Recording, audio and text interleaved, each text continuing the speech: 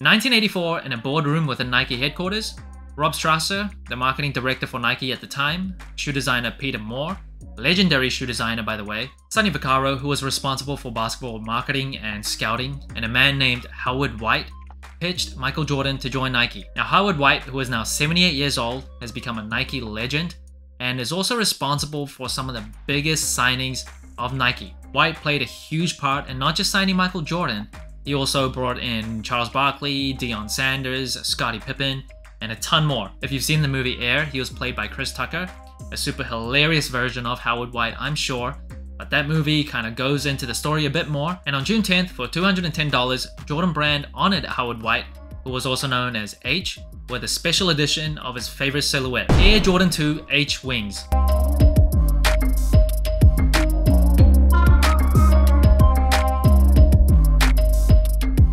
Jordan Wings program is a community impact platform with the goal of providing access to education for underprivileged youth.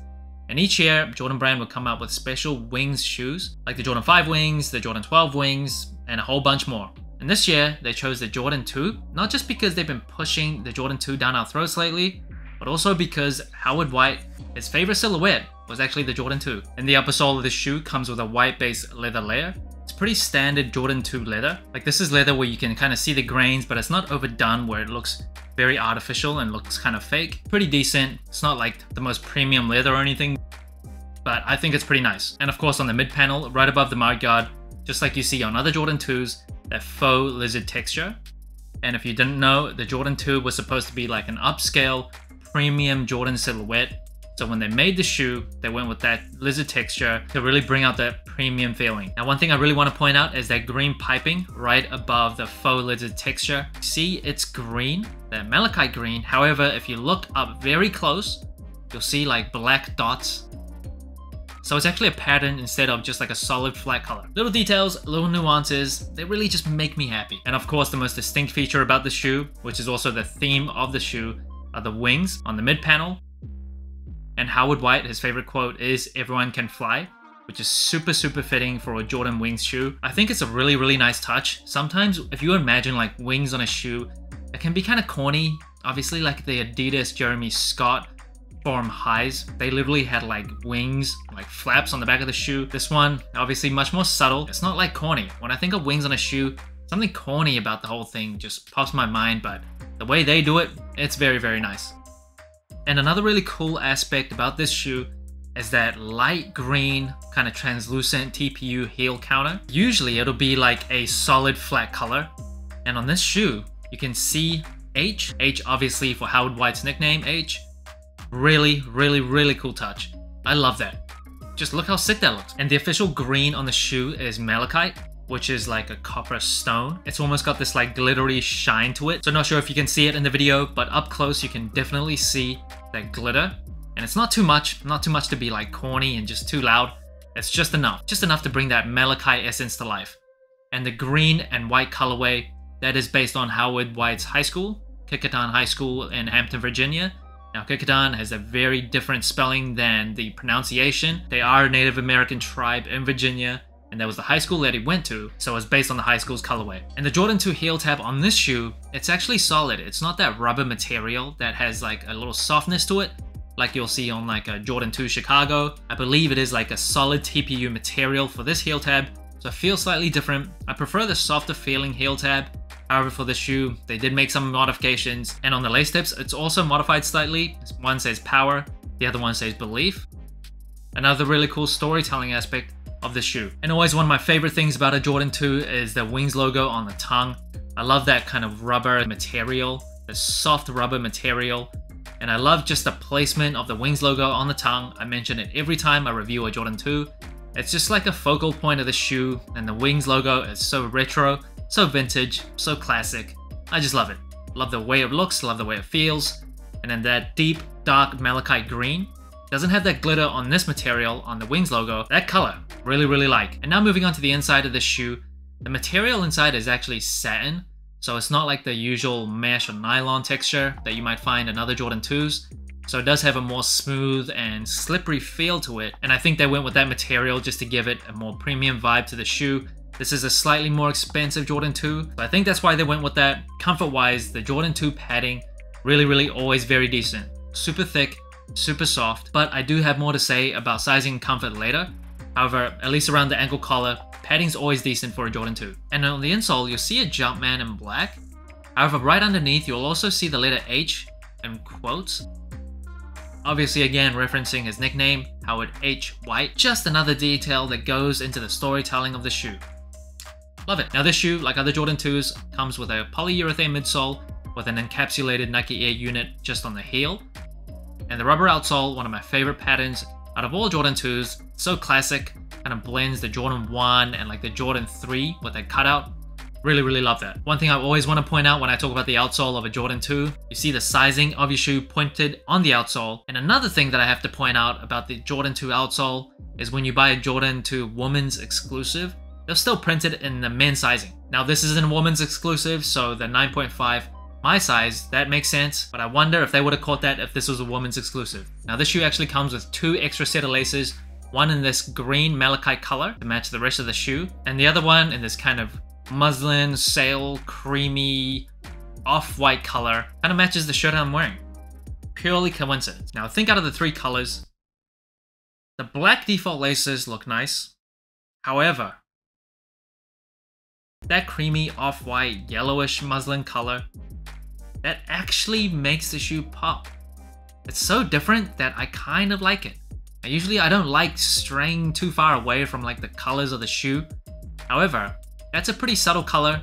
It's a pretty muted tone. I do kind of like it. So usually for 90% of all the shoes that I review, I pretty much go with the default laces. Let me know what laces you would prefer in the comments below, but this is one of the rare times that I would go with the extra set of laces. And the box of the shoe is a very standard Jordan 2 Wings logo box. I thought they would have done something special with the box considering all the kind of details they added to the shoe itself. However, can't ask for too much nowadays. Now moving on to size and comfort, I'm a size 9.5 true to size. I do have wide feet, and for Jordan 2s, I found it's kind of a consistent for my wide feet. Sometimes I go true to size 9.5, sometimes I go up half a size. Both work, both come with their pros and cons, and the reason why I can't be consistent is I found some Jordan 2s come pretty stiff out the box. So I did stay true to size for this shoe, and it is pretty stiff, it is pretty tight. I don't regret it yet because I think it'll break in. Usually Jordan 2s break in pretty well, and usually like 70% of the time I stay true to size for Jordan 2s. That has served me well, but honestly as a wide footer, especially as a flat footer, I don't really have a clear answer for you. I think you can kind of flip a coin and go up half a size or stay true to size. But if I had to choose, if I had to give you one recommendation, probably just stick true to size. Break the shoe in, wear thinner socks if you have to. Usually the problem occurs around this arch where the TPE material starts and it's a bit more solid. It's not just like straight leather over here. Just give it time to break in. Now comfort wise, the Jordan 2 is pretty comfortable shoe if it's not stiff, if you can break it in because the padding inside it's just so well padded. The insoles though are pretty flat on the shoe, just one Nike Air unit on the heel. So this shoe is still pretty flat don't mind it too much, it feels slightly better than a Jordan 1. However, if you're into like super soft shoes, this ain't the shoe for you. Now that brings the total sole score to 19 out of 25. Actually one of the highest scores out of all the shoes that I've reviewed. The colorway wise, I really like this colorway. Just green and white. Can't really go wrong, especially with a darker, more muted green, not like a super bright green. I really, really like that. The wings, the sketched wings on the mid panel, I think it's pretty well done. It's pretty elegant, so I like that. It doesn't stand out too much, but it still gives this unique look. Now material wise, it's decent. It's pretty nice. It's not the best. Jordan 2 is usually the tongue comes with that synthetic leather. However, at least down the middle part, down the center of the shoe, it's pretty nice leather. Now in terms of comfort, Jordan 2 is usually I give pretty high marks on for comfort, but this shoe just, I don't know, extraordinarily stiff out of the box. Don't know what went wrong there. I'm gonna reserve final judgment. I wanna break this shoe and more, but usually, at least like 60% of the time, Jordan 2 out of the box, slightly more comfortable than this one. Now versatility wise, I think the Jordan 2 silhouette is actually kind of underrated. It is harder to wear, but it does have this more elegant or like classy look to the silhouette. I do think the Jordan 2 lows are actually more versatile, but I guess Jordan brands like marketing, the way they shove Jordan 2s down our throat, it's kind of having an effect on me. I'm starting to really think it's a more versatile shoe than I did like five years ago.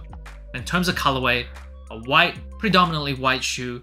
Can't really go wrong with that. White sneakers at all the hype, and it'll just never go away. White sneakers will always be a thing, and the green on the shoe, very easy to wear. It's a muted, dark green, so it's not too loud. It just blends in. Now, in terms of storytelling, this is where the shoe really shines. If you do a little bit of research about Howard White, but the inspiration behind the shoe, you start to notice all the little details and really appreciate them.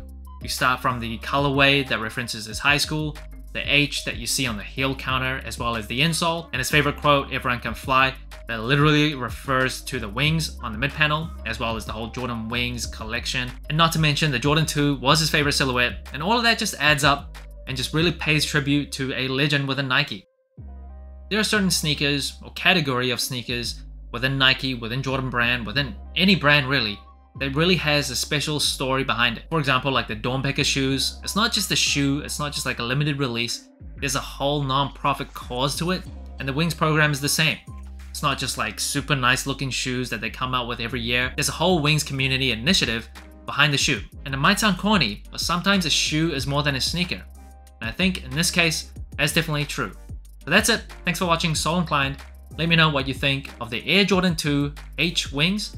Like, subscribe, comment, all the good stuff. And remember, tomorrow may never come, so wear your shoes.